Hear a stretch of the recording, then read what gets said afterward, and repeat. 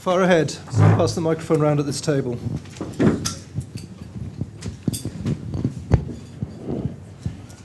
Okay, Andrew Trump first. Thanks. Um, it's a comment more than a question, I guess. Um, everybody that's presented this morning has mentioned about um, having people on farms and communicating to consumers that way and the benefits of that. And it was really just, uh, we have Open Farm Sunday that happens every year. And I just wondered how many people who are producers in the room participate in Open Farm Sunday. Um, and maybe organic farmers should get more involved in that. Do you like to do a show of hands? How many people involved in Open Farm Sunday? There's eight, nine, ten. As far as hands I can see at the moment, so some of us anyway. Um, the only thing I would say is that, I mean, I've, I've often felt a little bit bad about not doing Open Farm Sunday, but I feel that actually we have, because of all the school visits and the local farmers groups, and we've had 12 clergy and uh, various different people, I feel that, you know, my farm is sort of open for a lot of the, lot of the year anyway. Um, and uh, so, so that's why I haven't done it. But I think possibly it's part of the sort of big drive that we should get more people on farms. But if you're doing it anyway, um, yeah, that's my comment. Okay, um, I think Mark's measures his hand as well. The second one I saw, but I've seen two others in the queue. So. Hello. Yes, uh, I think I'd like uh, John to ask one, answer one of his questions, but perhaps all the panel would like to answer it, and that is about price parity. Is that is that something that um, we think we should be aspiring towards um, from a market perspective and support perspective and so on? Well, you'll probably notice, Mark, that I just asked the question and I didn't provide the answer. Um, as far as I'm concerned, um, I think that as long as I feel that there's a fair margin in what I'm doing for me, I don't really care, you know, what the margin is like as far as non-organic is concerned. I mean, I, I can't help by sort of glancing across to the other side to see how they're doing. Um, but ultimately, you know, I've sort of tossed the question around my head, you know, on many occasions. But uh, it always comes back, and I think, you know, actually what Kate said, you know, you just need to step back and remember – you know, why you're doing what you're doing. And it only takes, you know, a few minutes to step back and just do that and then think, well, what on earth was I thinking of? Okay, there was a question on the aisle halfway back. Uh, yeah, it's about um, the Waitrose um, uh, pricing and, uh, and payments. Um, there's been there's a bit of a, a, thing in the press recently about them not paying uh, on time. Now I had a big problem with them, and I'm, it's a shame they're not here today because uh, I've been waiting up to three months for them to pay, and uh, it was only after going right to the top before I got some some answer. But also I hadn't quite threatened to them to say that I was coming to this meeting as well. Maybe this is why they're not here. Um, and as far as um, as open days, I, I find that it's very good to have hen parties, actually. And that's only basically because I run a vineyard. In terms of Waitrose's attitude to pricing, I think it's quite a sensitive one. We were uh, invited to the farmers' conference fairly recently, and um, having been on the manufacturing side ourselves, we do understand things like margins quite well. So it was quite an exciting debate. Um, because Waitrose, as we all know, actually try and support farming, uh, we believe, more than most. Um, but they actually were pushed into position that the whole industry of retail should do better. The fact they were trying hard, um, and we do um, put tremendous pressure on them to try and stick to their own values. The other side of the equation for them is uh, they have to compete but it was a very um, open debate about pricing. And I think the more open the debate can be, um, it's very healthy. It, it, allows the debate to be properly uh, focused on rather than hidden. And um, I think there was a great danger in that farming conference that we were at. If, if one or two questions hadn't been asked, everyone would have gone home thinking, if only I'd asked this, if only I'd asked that. It provoked a very interesting debate. Uh, and what the real answers will be, they won't come out until the debate is forced. We believe there's a tremendous value in organic. Um, the messaging has got to be put across. It's, it's people will do value, pay for value. Certainly, we're seeing at the moment within Waitrose, we're seeing a growth in organic um, for the first time in two years, substantial growth. Why is that? Um, if you look at their analysis of their sales, um, their increase in their sales is in the higher end of their uh, product range and in the lower end of their product range, and the middle sector of their products is actually going slightly backwards. Uh, we believe organic has got a, got a position in that higher end, end where the values are worth people paying for, and we're certainly seeing within our Waitrose relationship a fantastic turnaround in the last 12 months, which I think even they're finding it difficult to believe because there is this slight negativity about organic, which we desperately all need to change. Okay, thank you. I've got three lined up at the moment. Martin Peck. Um, I, would like to ask John Pawsey, uh, taking back to the slide uh, of Wakelyns, and would you elaborate a little bit on what you think about your fields looked quite big, and yet you showed lots of wildlife benefits on the farm. So, what, what do you think about would your fields be happier smaller, or was that the point you were making about incre- moving increased yields in the centres of fields to the outside? Some along, yeah. Gosh. Um, yeah, some of our fields are quite big. Our average, average field size is 25 acres. Um, I, I know that maybe the Woodland Trust are here, but I'm talking to the Woodland Trust at the moment about maybe putting some agroforestry on our own farm. Um, but we're also going into a large HLS scheme, which is going to add more bits and pieces or more habitat around the farm. But um, you know, I could do a lot more than we're doing, um, and um, the difficulty is is um, being able to do it um, uh, with some kind of efficiency. That is the main problem. And and I'm actually going back. I'm sort of you know painting myself guilty again of farming like a, a non-organic farmer again. And I know I'm doing it. I can hear it. You're thinking, Christ. Um, so that's why I'm floundering. Uh, but I, I agree with you and I take on board your comment.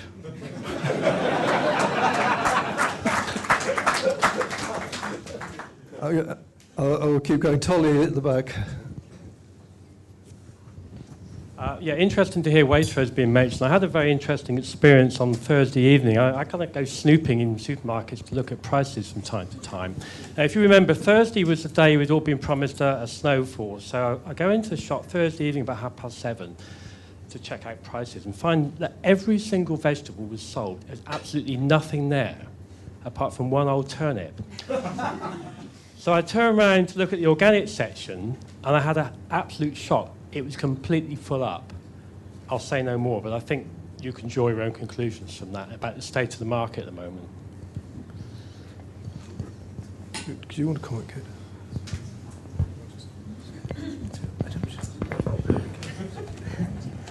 Yeah, I'm not sure how relevant uh, my experience is, but uh, on Thursday I did pick sort of four times the amount of leeks I would normally pick for that for the weekend for the shop, and they've sold out. But um, I'm in that fortunate position where um, they're only stocking my leeks at the moment, but that's because the conventional ones they had been buying in were tiny. So um, maybe it's, I don't know, I think that is very scary from a supermarket point of view. Um, but I don't know, maybe we just have to concentrate on nice small independent shops and do it direct. I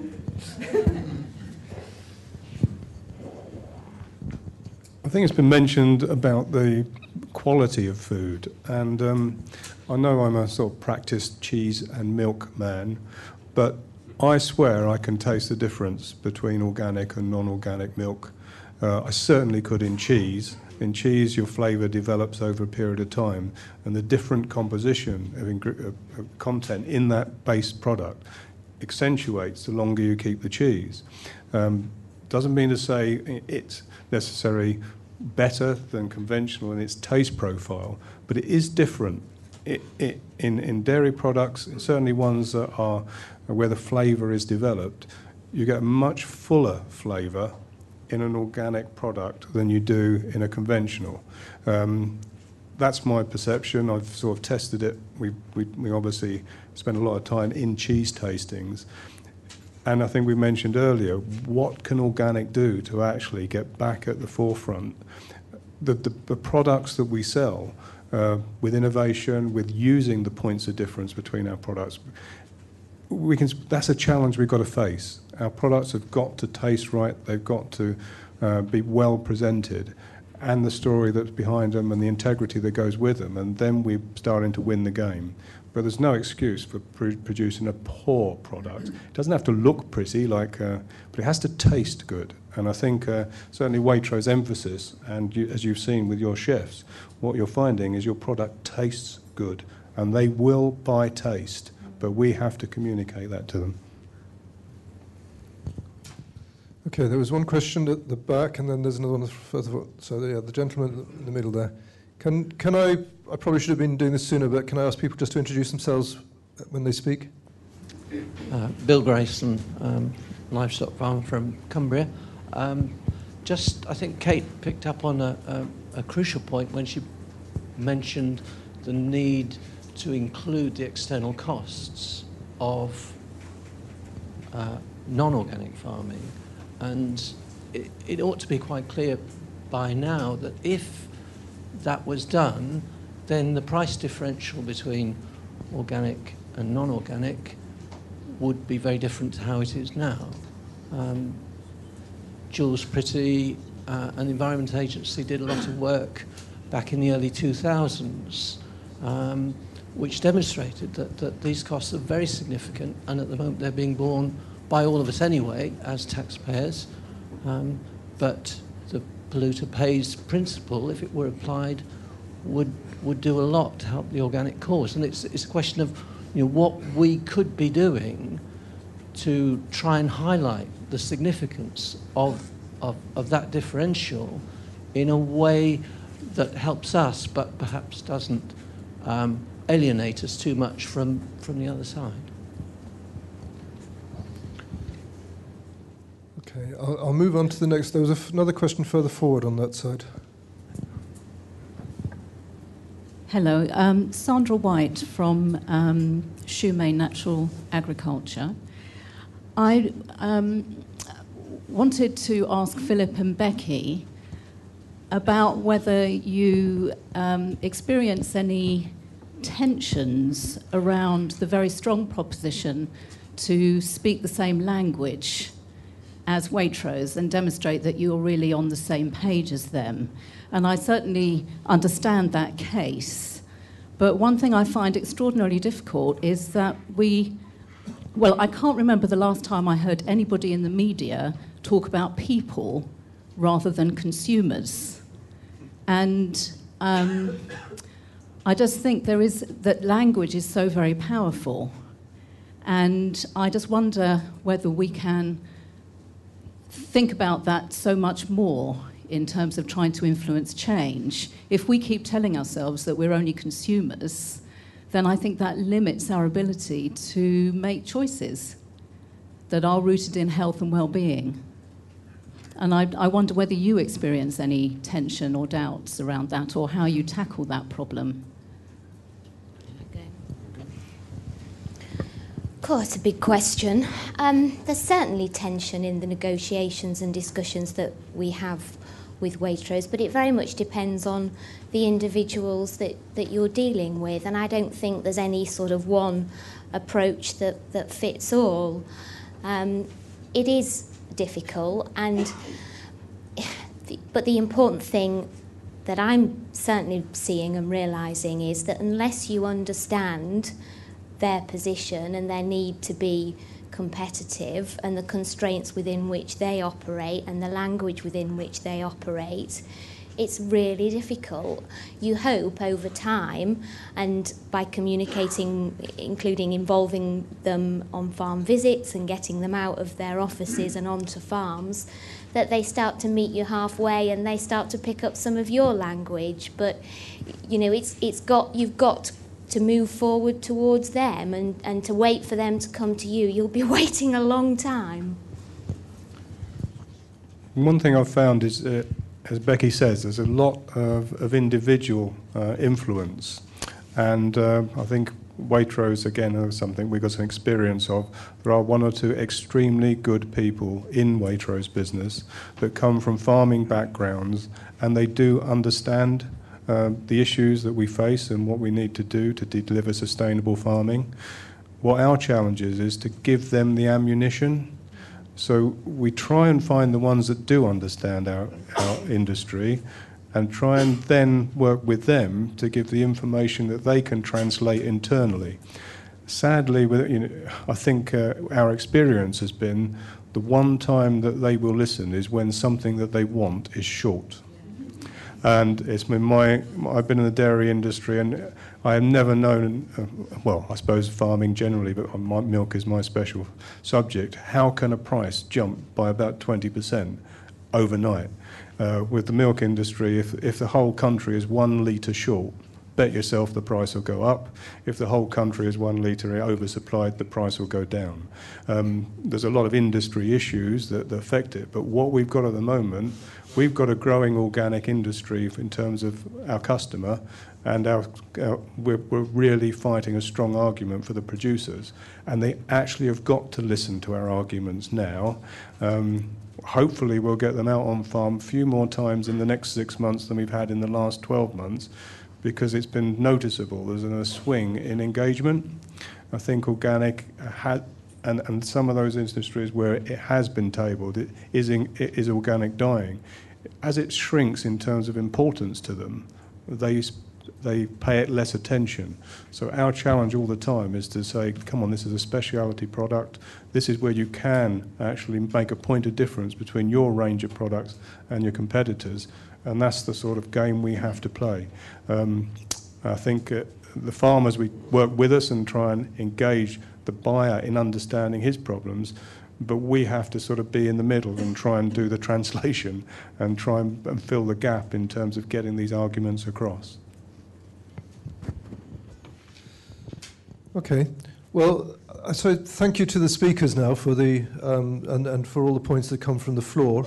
Um, it's almost lunchtime, but I need to, um, just to bring a couple of points together. I think from the, the discussion and the presentations, I think there are probably four things that have come out for me during this session. One is this emphasis on the need to improve our communication, to make, get the communication right and, and to do better communication. Um, and linked to that partly getting husbandry issues right, but also being able to communicate evidence is the issue of research, which is a big theme of the event.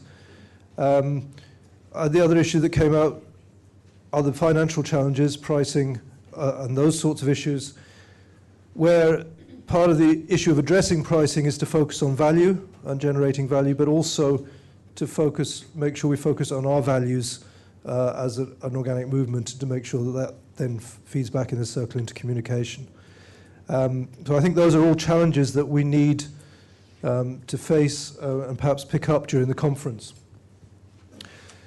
For, for us, we've, we've given the conference the title Making Producer-Led Innovation a Reality. And I just want to say a, little, a few words about why we've come to that and, and to ask in a second Tom MacMillan also just to say a few words um, for me, so if Tom would be willing to come forward. Um, the their innovation is a big buzzword uh, in agricultural establishment and policy circles at the moment.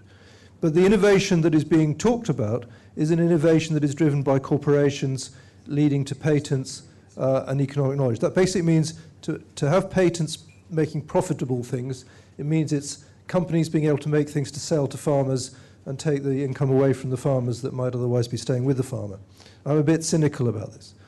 I've, throughout my life, felt that it's really important that the innovation that takes place on the farm is recognized uh, and that producers are able to be much more engaged with taking that process forward. And we've deliberately given the conference this theme because I think it is an opportunity for us to think about how producer led innovation can really work. And that, I hope, will feed through into the workshops. That out of those workshops, ideas for projects might come forward. We have this afternoon, um, at the end of the day, I'm afraid people may be a bit tired by that point, but um, a series of small group discussions planned to help get crystallize uh, producer-led research projects that might be possible to be taken forward.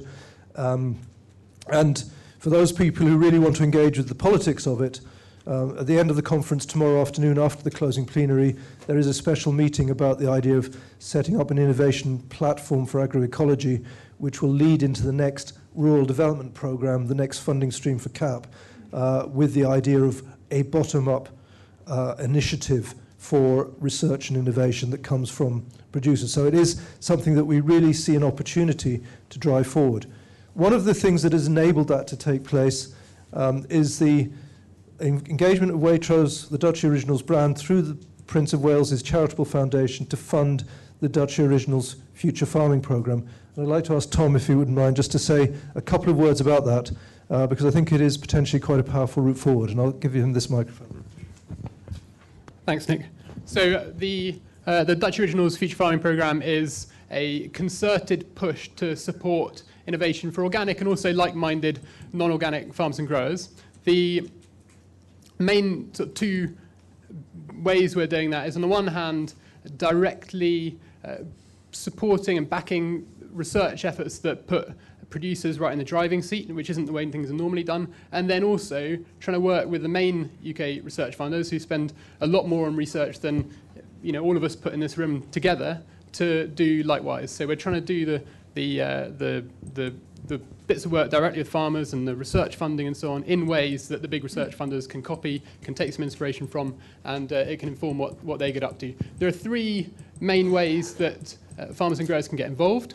The main, uh, the first one, and probably uh, the the um, the most novel, is something Kate has already mentioned called field labs. And these, the thinking behind these is that farmers and growers, by and large, try stuff out all the time anyway. Um, so people are experimenting all the time. Um, in, in reality, as Nic mentioned, a lot, of the, a lot of the innovation that takes place takes place on farm because of that initiative. But it can be quite a frustrating experience. So sometimes you can try things out and it's not always clear whether it's worked or not. And uh, the idea with the field labs is to bring small groups of farmers and growers together on farms and to uh, meet two or three times to follow a trial or um, some other kind of uh, DIY research through from start to finish. And through that, to learn what makes an effective trial, how to get the most out of the time and money that people spend on trying things out, and if you need research help from scientists and so on as well, then how to get that help when you need it. So that's the point of the, of the field labs. We've, we've started eight of those already, and we've got lots more in the pipeline and even more to, to sort of come up with, with ideas from uh, people who are willing to host these, uh, these uh, field labs. And the ones we've had so far, just to give you a flavour, include things on, uh, on red clover, looking at the effect on the fertility of sheep who are on that red clover and how to manage that for the best results, looking at, uh, at um, reducing antibiotics in dairy, and also some, um, some work on alternatives to peat for seed propagation.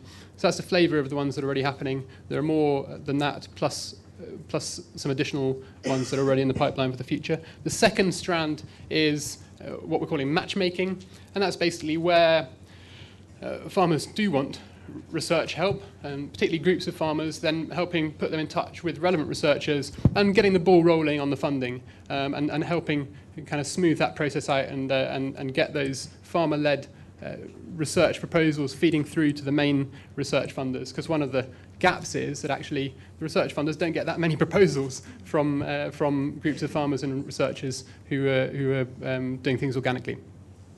And that's very much, that's, that bit of the work's led by ORC and very much tied in with the Participatory Research Network. The final uh, sort of sort of main way to get involved is uh, we have our own small research fund, and it is quite small in the grand scheme of things, but uh, we hope we'll get a lot of mileage out of it. Unlike most research funds, the priorities for it get set by farmers and growers rather than by people sitting in a darkened, smoke-filled room and uh, or in a research lab somewhere, and uh, they are uh, the proposals are also reviewed by farmers and growers uh, as well as by scientists. That's quite unusual. The first batch of research ideas and challenges from, uh, from producers are now in, but by all means keep them coming and they can go into the second round. It's at the stage now where we'll put those ideas and challenges out to the research community, get ideas in, team the researchers up with interested farmers and growers to work up really short but, but practical proposals, and then those will go through a review process, and, and the, the best ones and the most relevant ones will get funded. That's the gist of it. And if you want to get involved, and please do, uh, then uh, either grab me or Ben Raskin, who's there, or Ewan Brierley, who's there, um, or, or of course any of the ORC team as well. Thanks. Is it okay if I just... Hi. Um, hello, I'm uh, Wendy Seal from the Organic Growers Alliance, and I would just like to um, mention um, springboarding from the um, Duchy Originals program. The Organic Growers Alliance are developing a research and development strategy for small scale, small to medium scale um, organic growers. And we have a meeting um, I'd like to bring your attention to on the 6th of March. Um, it's uh, sponsored by Sheffield University and also the environmental um, sustainability knowledge uh, transfer network. Um, if I get that right. Um, so it's a meeting specifically to bring growers, um, horticultural suppliers together with scientists, and it's going to be a, a brainstorming session to, to, to really kickstart an R&D strategy for um, small-scale horticulture. And I think hopefully um, we have some uh, flyers about that downstairs. Is that right, Phil? Not yet. they're, they're, they're, as soon as we get them printed, they'll be downstairs. So, okay, thank you. So, I'd, on the back of that, and um, there's another initiative that I think we're very keen to support. Um, I'd urge you all to get engaged in some way. We have a, a wonderful mix of producers, researchers, advisors, and others uh, in the audience today. There's an, a, an ideal opportunity to forge alliances between parties that often are only working within their own circles, certainly on the research side. Um, so, so get engaged. I, I really hope that the workshops that you're going to get engaged with now can come up with some interesting and, and relevant action points that might be taken forward, whether they're research ideas, as we've just talked about, or policy initiatives, or regulation changes, or other issues that you think might be important. Uh, it would be good to identify these things that we can um, maybe take forward uh, after the conference. I would like to also draw your attention downstairs. You'll find both trade stands and all over the place posters about work that has been taking place that is not necessarily being presented in the sessions. Make use of the opportunities to meander around uh, and look at those. There's lots of information there that you can pick up. Um, I, we're just about to go into lunch, so I will emphasize that we have worked very closely with the conference venue to ensure that the food is organic. I'm assured that it is organic. Um, after last year, the venue has taken the issue very seriously, and I think those of you who've had coffee and um, tea and biscuits and things like that so far will have seen the signs that uh, things have stepped up a grade. I hope it continues through into the meals. We look forward to it. Um, uh, and that's through into the conference dinner, which is very well attended this evening. So there will be a bar um, and also organic drinks. I'm saying all this now because we don't see each other all in one group again until tomorrow afternoon as we go into our respective workshops. I just wanted to check with Roger whether there's any changes to the workshop program. Roger, uh, at least where they're located. Do you want to go say something, Roger? Uh, yes. Uh, thank you for your votes. You had 140 votes, uh, and as a result of which, we're going to have to make one room change uh, and that's going to be grasslo- uh, grassland and livestock, or workshop three and workshop four, will actually swap their rooms. And just to give you a bit of guidance on that, the arable strand is going to be in suite 4A, which, if you go out of these doors, is the uh, the doors directly opposite you. Um, horticulture is going to be in suite 6, which actually is the front of this area here but you won't be able to come through the, the double doors. You have to go round the back corridor and come in that door over near the, uh, the corridor. Grassland is now going to be in 5C, which is the back left area, which you can come in the same doors as you did for this big um, um, plenary session. And the other strand is going to be in 5DE, which is the back right as I'm looking, so it's over where the uh, red poster boards. And again, you have to go around the back corridor and come in through the doors over there. Uh, and the uh, livestock uh, 4B session is the back corridor, turn left. There are signs, just look out for the signs, but if you would, please, just make, make a change to the piece of paper in your pack. And, and where it says 4B, put 5C, and where it says 5C, put 4B. And can I please encourage you to take your bags and all your paraphernalia with you because the staff can have to come in and create three rooms where there's one. Thank you. Okay. Can I just ask you to give one final round of uh, applause for the speakers and enjoy the conference?